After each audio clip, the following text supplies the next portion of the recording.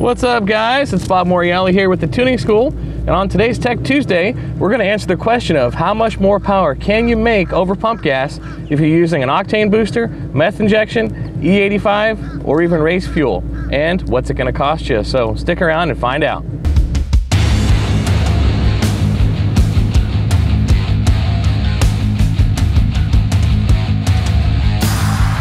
Okay, so guys, welcome back. Today we have the answers to your questions. And the biggest question everybody has is how much power can I gain on something other than pump gas, other than like 92, 93 octane straight out of the pump.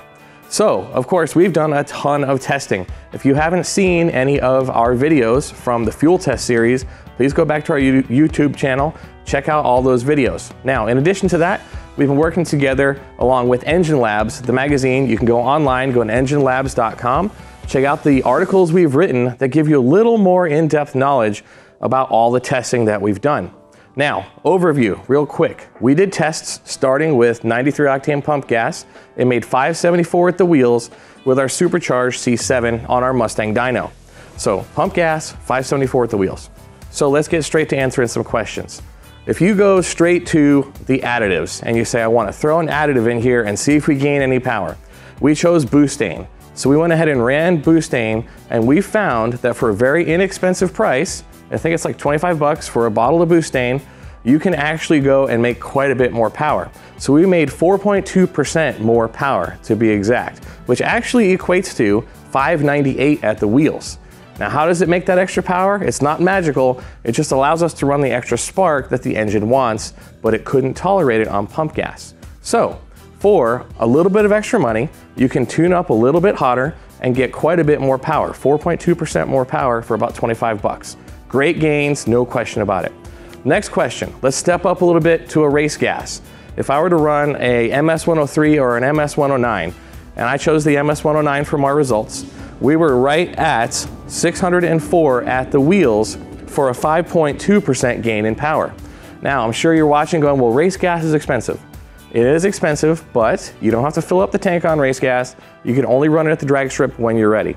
That's cool, but it is, you can't run it every day at that power level and keep the costs down. But the gains are there for the time you want the power. Let's do one more step up. So for about a 5% gain in power, you don't have to spend a lot of money. That's the, the quick and easy evaluation of what we found.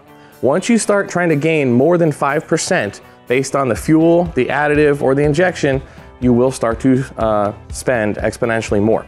The next group of results are all the injections. So meth injection, or in this case, we also used boost juice uh, we did find substantially more power, but you're no longer spending 25 bucks to get it. Now you're stepping up to a meth injection kit, which is a good five or 600 bucks plus the labor to install it.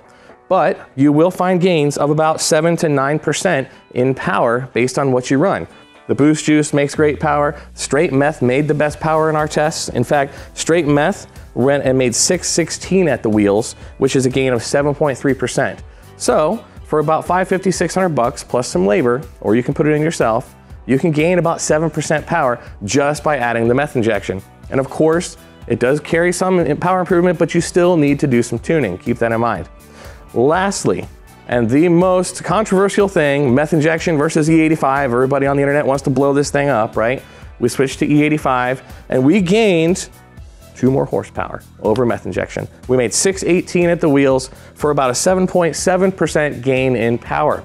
Now, here's the deal. I'm not putting it down because there are upsides to this, but the downside is once you step up to a fuel that is ethanol based, you will need about 30% more fuel capacity. Now, I'm not talking about your fuel tank, I'm talking about your fuel lines, your fuel injectors, your pump, and all the associated things that go along with running uh, an ethanol based fuel. So, you have that bracket now where you're going to make 7.7% all the way up to about 10% more power with an ethanol based fuel. Uh, but you're going to spend the most money to do it. And we would estimate you're to spend about 1500 bucks and up to move to an ethanol based fuel. So, quick evaluation. If you want to add about 5% more power, go ahead and get yourself some Boostane or some MS109, pop in the tank, do a little bit of tuning, and you'll go from about 574 which was our baseline, to 598 or 604. So a great improvement of about 5%. Now, if you want to go up to 7 or 8% power gains, you're going to do a meth injection kind of kit. You're going to spend about five, 600 bucks plus labor. And then lastly, moving to that last tier of extra power, going to an ethanol-based fuel, you're going to spend probably 1500 bucks, depending on what your car came with originally, but you can get up to about 10% more. And just to give you the total cap, like the very most we made, we ended up making a total of 634 at the wheels when we combined the best of both worlds, which actually turned out to be VP Racing's C85 race fuel that's based on ethanol plus meth injection. So you take some time to think about that, but go home and figure out, do I want to gain 5% power for a little bit of money or 10% power for quite a bit more money?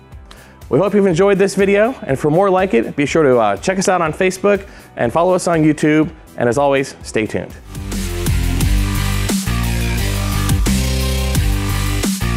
Y'all enjoyed this video, make sure that you hit the subscribe button, check out these other awesome videos, as well as these products and our website.